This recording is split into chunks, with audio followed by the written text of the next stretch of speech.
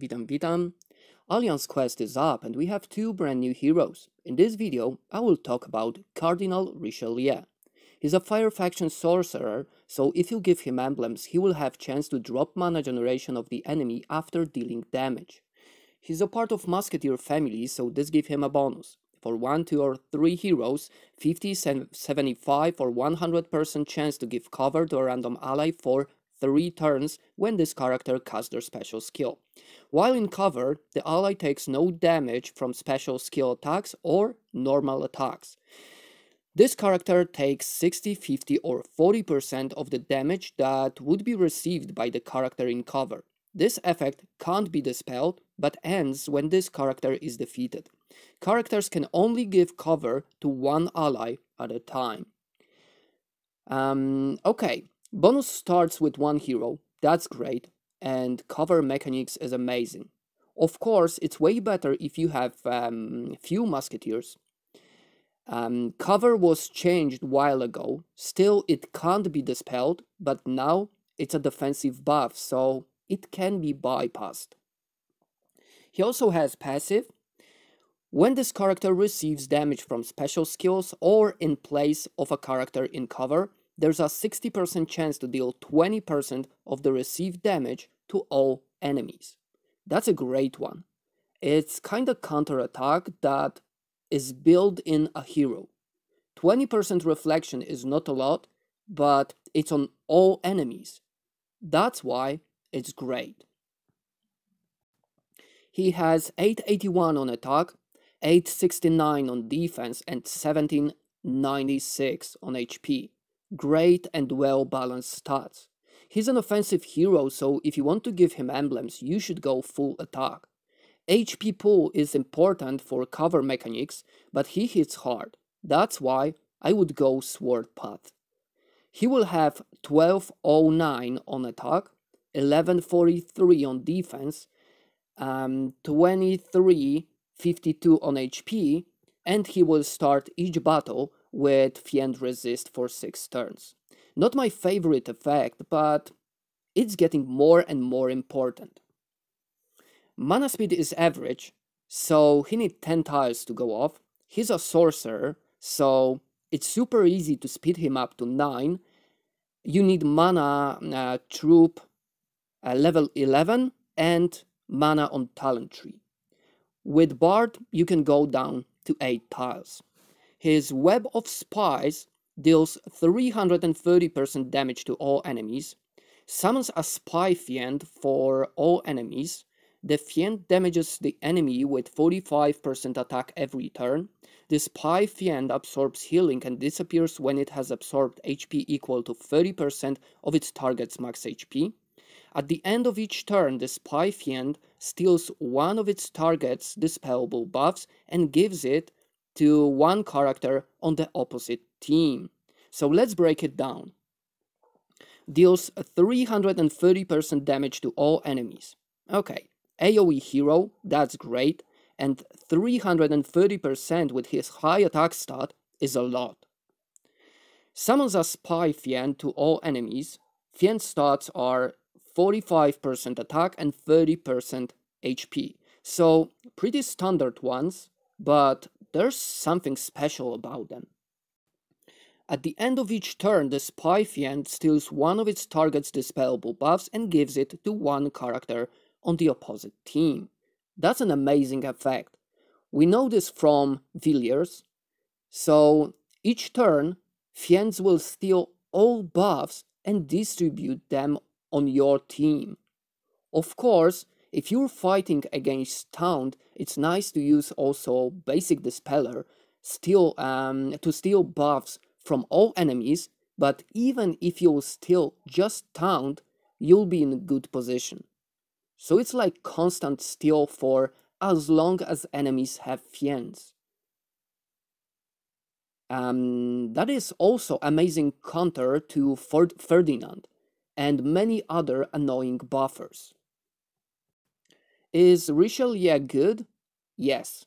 Great stats, fast class, cover mechanics, and fantastic skill with high damage, really strong fiends with amazing buff steal mechanics.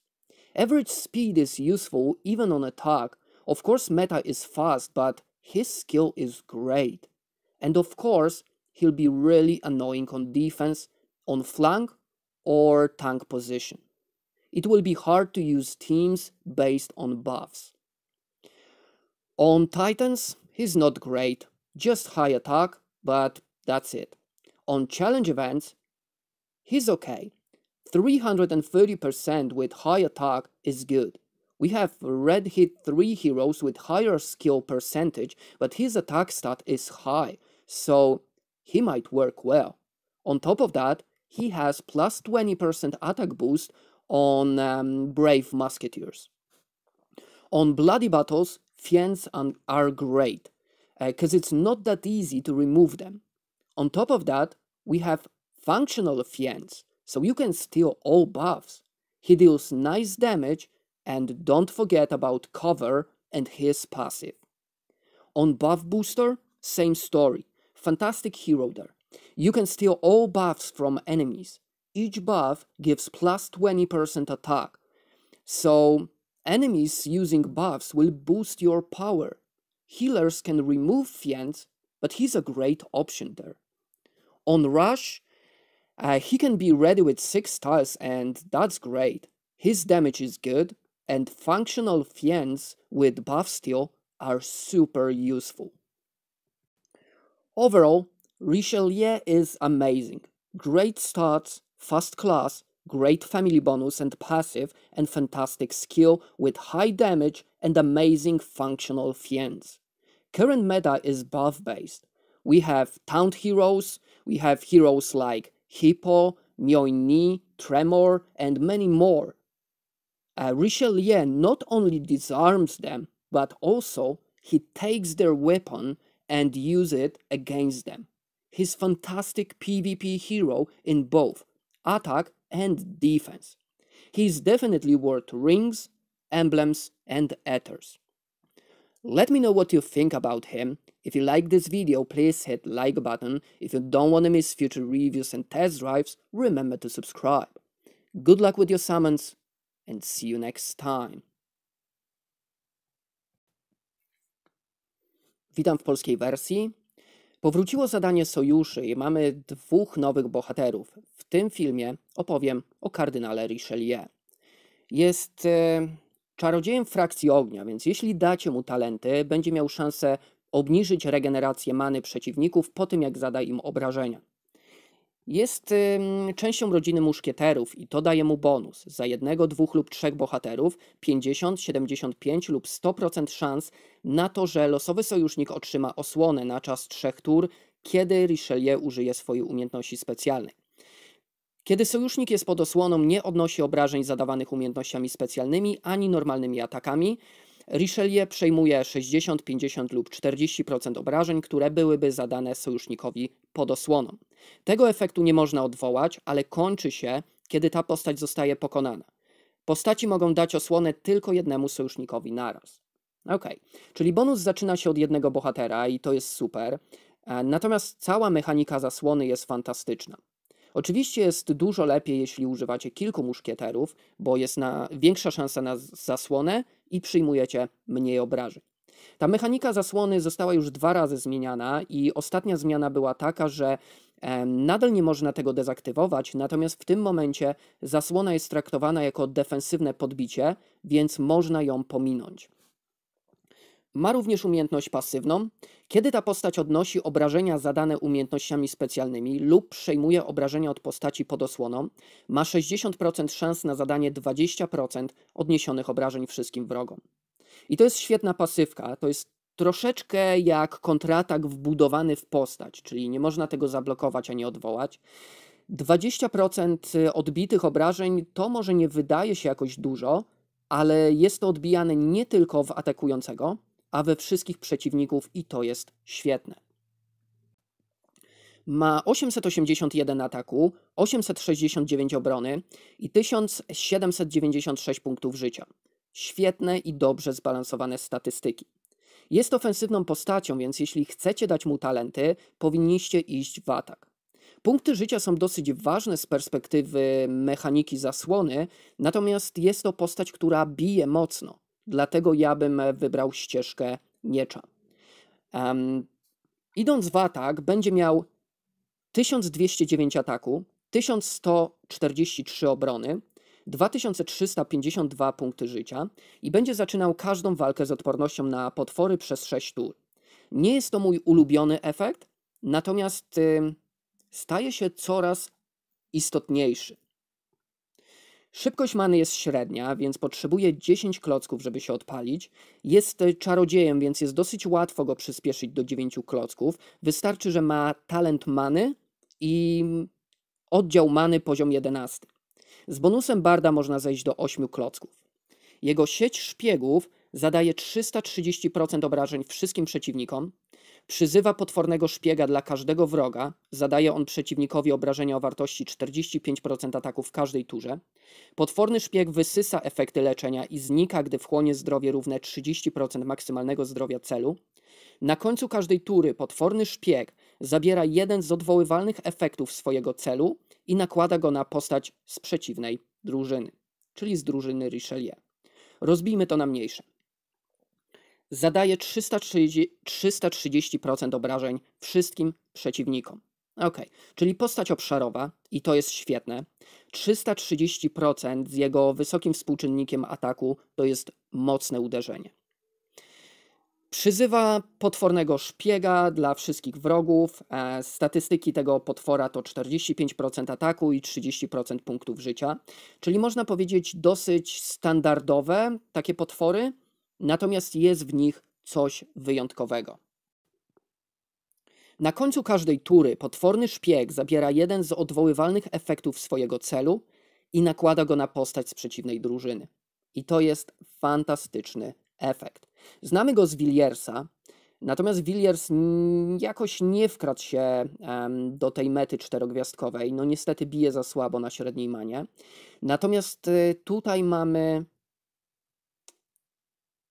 te potwory, które w każdej turze będą wykradały wszystkie podbicia z przeciwników, te możliwe do odwołania, i rozdawały na, waszą, na waszej drużynie.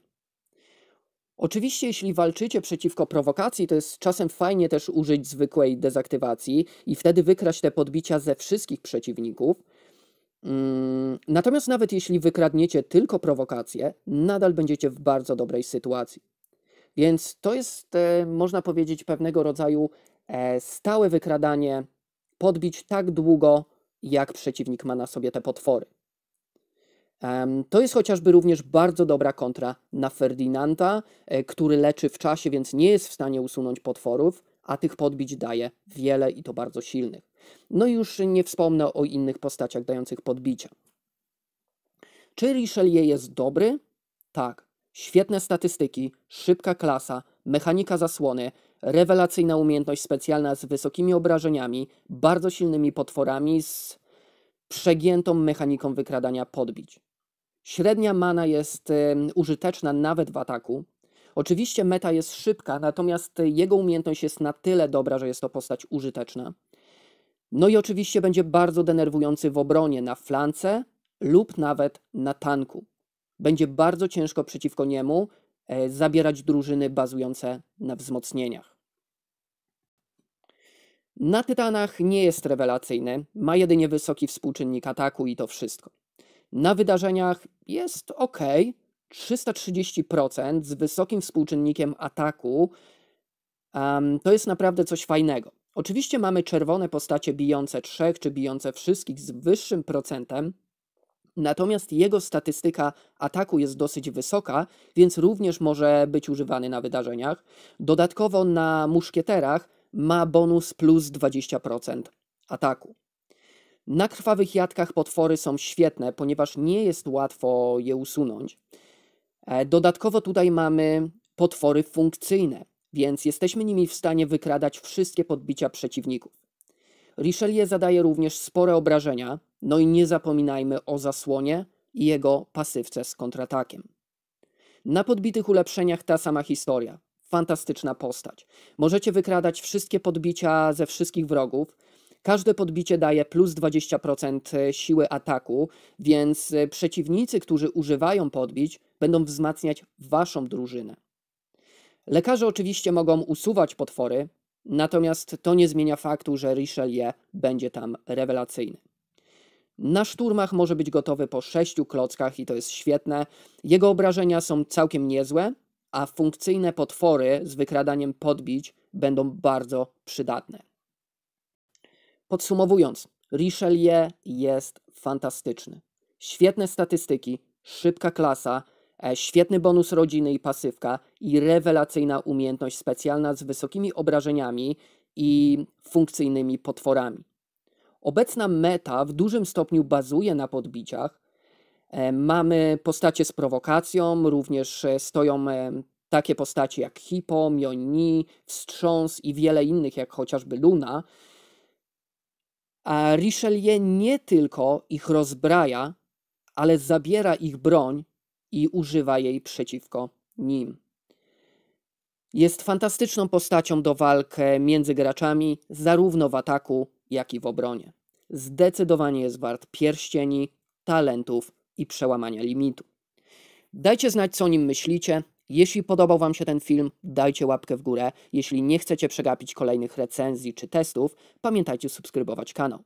Powodzenia w Waszych przyzwaniach. Trzymajcie się. Do zobaczenia.